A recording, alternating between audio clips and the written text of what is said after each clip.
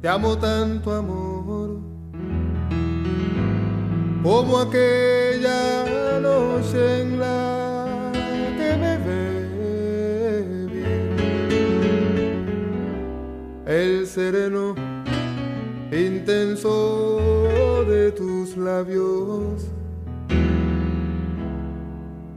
y tu rastro